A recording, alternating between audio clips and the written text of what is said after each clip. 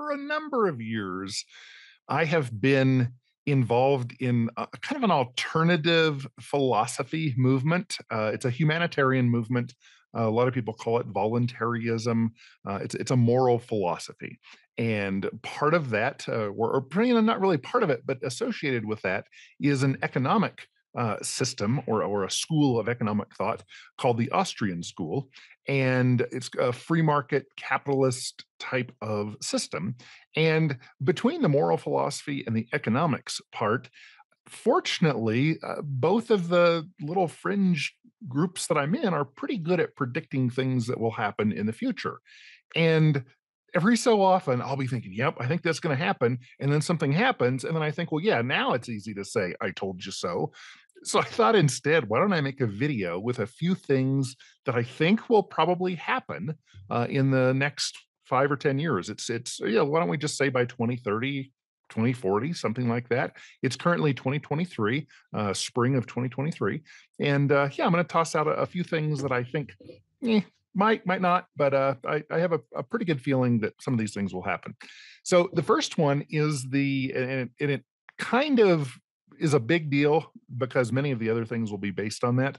Um, the United Nations sustainability movement, uh, religion, whatever you want to call it, that will continue and it will continue to grow uh, stronger and stronger. Now, by the way, and I should have said this before I brought up the UN, everything that I'm going to say, this is based on, I don't know, if 25% of people started realizing that things that they saw in a movie were propaganda or were able to just identify when they're being manipulated.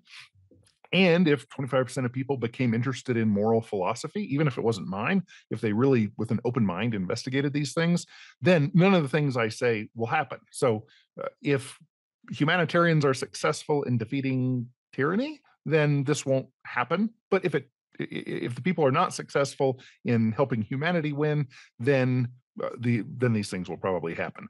So when I mention UN sustainability, uh, look at uh, go online and search for UN sustainability goals, and you'll see that I think there are 17 now.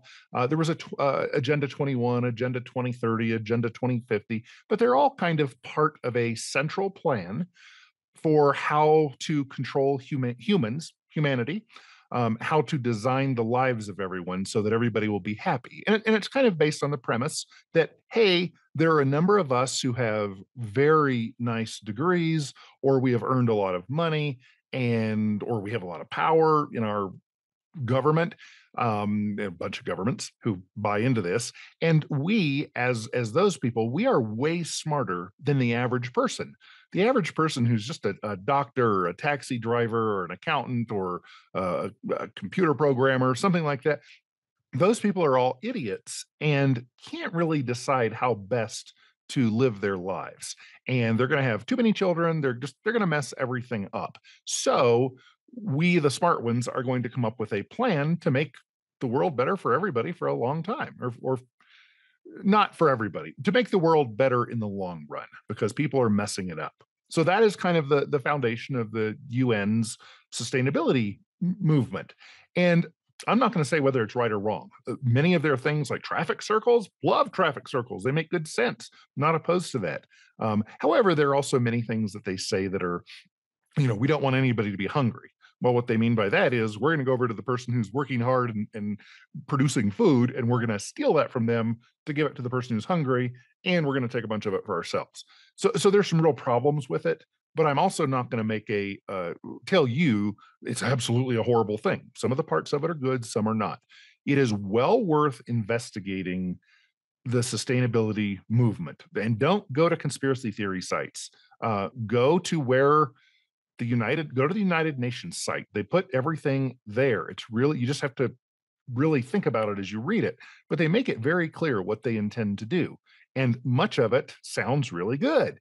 Um, you know, we're going to liberate the person of the means of harming others. Well, that would essentially be taking a can of pepper spray away from a woman who's about to be raped. Not taking away, it's liberated, is all. Um, there's a lot of silly word twisting, or actually very intelligent word twisting. But if you think about it, with a sophisticated mind, understanding propaganda, understanding that kind of thing, um, go straight to the source, ignore the conspiracy theorists, look at the UN's webpage, read their goals, and uh, that'll help you know what's coming in the future.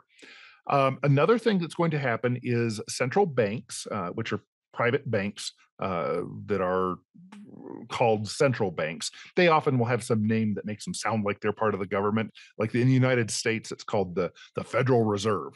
Well, it's about as federal as Federal Express. It's uh, yeah, it's regulated by the government. They have input. They tell them what to do back and forth and such. But it's a private bank, and central banks are usually private banks.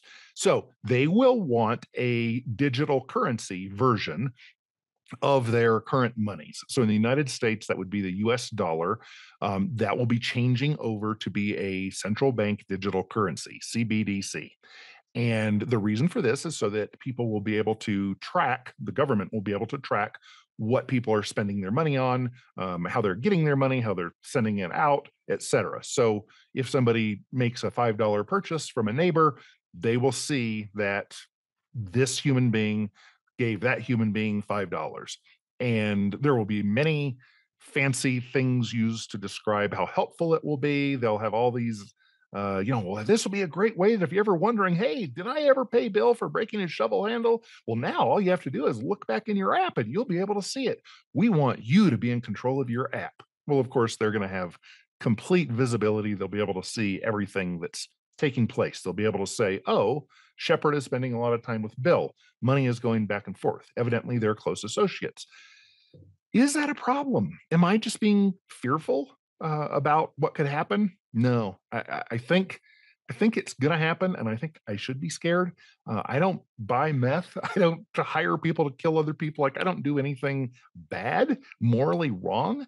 Um, but things can change, uh, and I don't mean I'm going to change and start doing morally wrong things.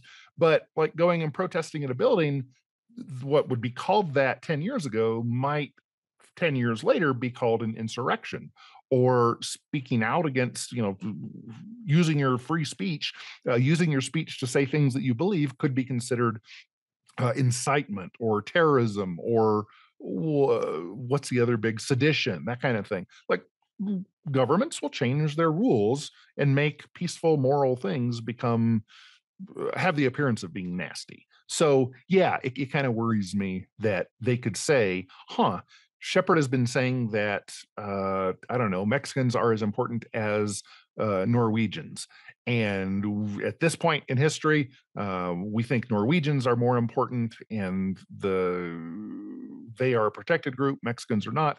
Therefore, Shepard is a racist, and we're going to freeze all of his bank accounts. Um, that is going to happen. Like that kind of stuff is already happening, even without a fully implemented central bank digital currency. So that's going to that's going to come about.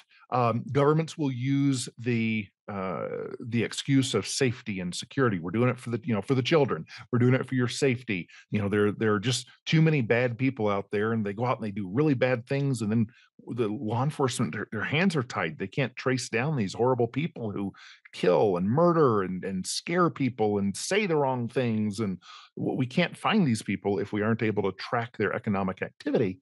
Um, so therefore, we have to do that. So that's what governments will say. Um, let's see here, and I'm I'm reading, which is why I'm looking down. Uh, let's see here. Uh, oh, there'll probably be some big event to, to make this happen, some highly publicized event.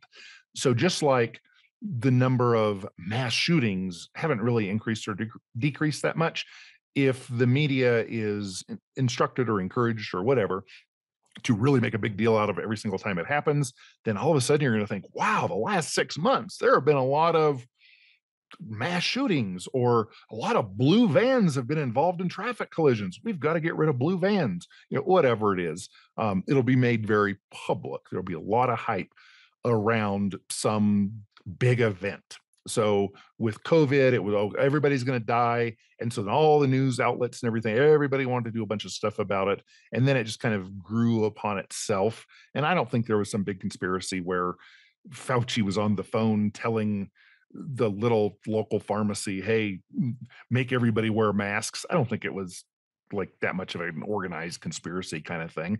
It's just kind of how how things tumble once it starts at the top. Once a, a good propagandist gets a movement going at the top, that's how it that's how it unfolds.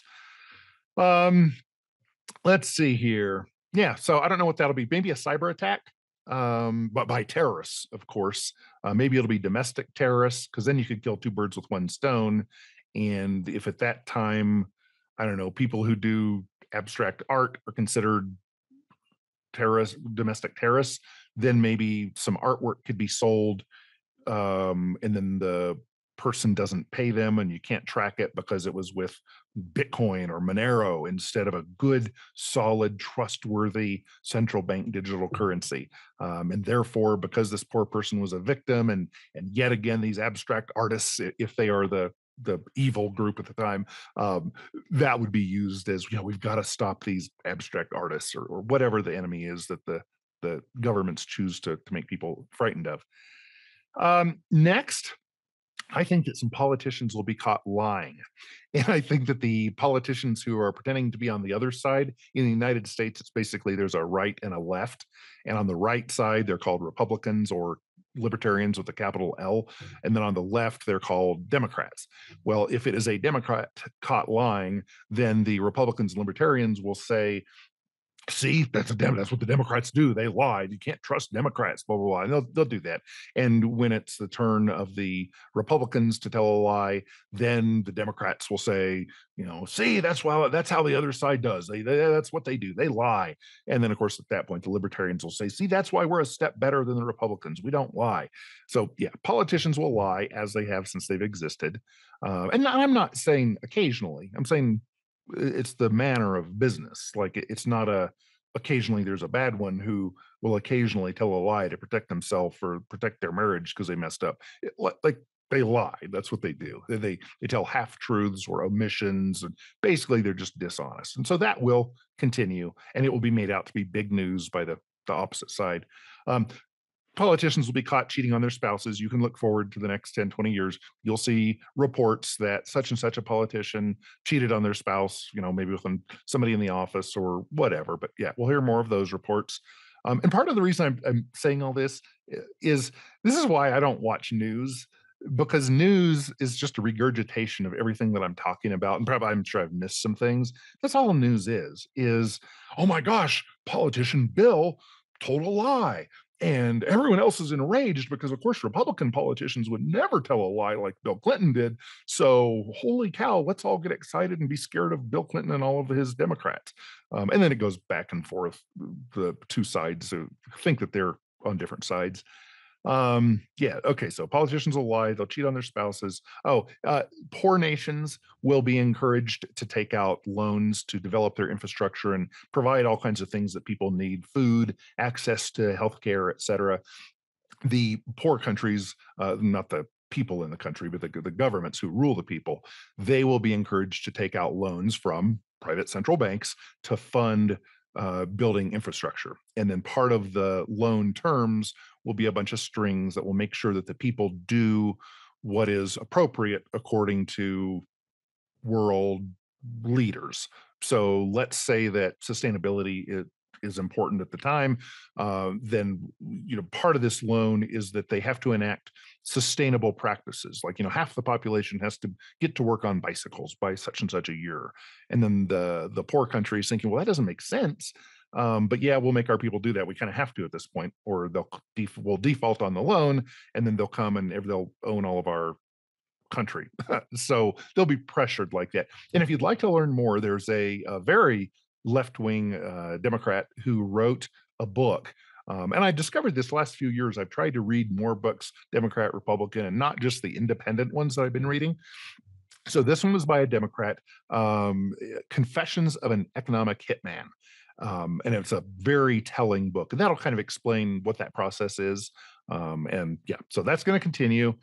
uh, developed nations, they'll be fighting wars, uh, probably, you know, sometimes with each other, but usually uh, it'll be a developed nation that will fight against uh, a, a nation. When I say nation, I mean a government. Um, I'm not talking about the people who live there, but against the government. Um, in the that government of the the uh, country, the nation where uh, the the wealthy nations are fighting against. There'll be a lot of people with a darker skin color, brown, black, some combination thereof, um, and they'll be considered terrorists or uh, infidels or bad guys, or they'll come up with some name that stirs up a lot of emotion. Um, and so then, in order to wage this war, of course, to keep children uh, safe, because it is for the children, and to, to, for the national security and our way of life and and our safety, we have to do this, even though we don't want to. That'll be the the line, as it always has been. Oh, and part of the other war propaganda will be, look at these heinous things that the other people have done, and that's why they deserve to be treated like the dogs that they are. These blah blah blah blah blah, all kinds of derogatory terms against the people. Um, so so those wars will happen. The wealthy nations will fund them. And when I say wealthy, they're not really like bottom line wealthy, but we live like we are in the US. Um, most people are living really well, and it's not a uh, sustainable thing, but we are. Um, we, you know, we we get to have a bunch of cars and nice houses and nice food and consistent food and warmth or cool to be comfortable and all this kind of stuff. Um, so that those countries will be borrowing money from private central banks in order to fund the wars. Typically, those central banks aren't going to only loan money to let's say the United States wants to go after Iran the central bank will loan money to the United States to buy jet fighters and uh, bombs and bullets and healthcare, and you know money goes to Halliburton to have the cafeterias on the on the, the battlefront, and et cetera. But that same central bank will be loaning money to Iran for bullets and bombs and jet fighters and cafeterias and so on and so forth. So the central banks are not. I don't think they're discriminatory against just one side. They're more than happy to encourage the war and loan both sides money to to fight that war because it, it must be done for the good of the people and to save the children. Um, let's see here. Oh, and by the way, these these central bank loans uh, for wars and other things, they're not meant to ever be paid off. They're meant to be leveraged. Uh, then, when the government is no longer able to pay, whether it's Iran or some some poor undeveloped country who's told, "Hey, you need to have better sewer systems," let us loan you six billion dollars so we can we can build these uh, and then that six billion is never like that's way more than the the national budget can pay. Like they can't just tax people enough to pay that and they know it. So they'll refinance and they'll do all kinds of finagling and well you know we blah blah just like they do in the united states and all all countries where uh, central bank loans are are done. So in other words developed nations i think just about everywhere. Um let's see here. This is a good time to pay the bills. Please watch this advertisement. うん。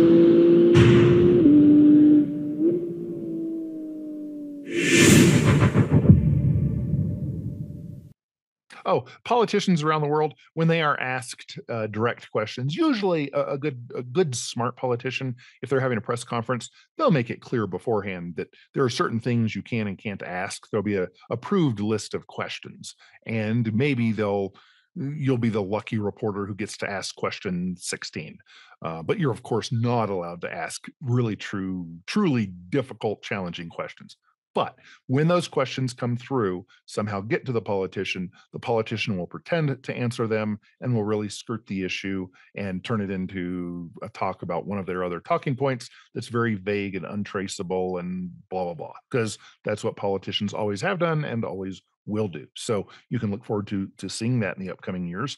Um, sports ball teams and other other sports some of them will play against the other ones and beat them and then the ones who are beaten will plan to do better but they're really proud of themselves for doing as well as they did and then the, the t- team who won will pretend to be a little bit humble, but will really be proud.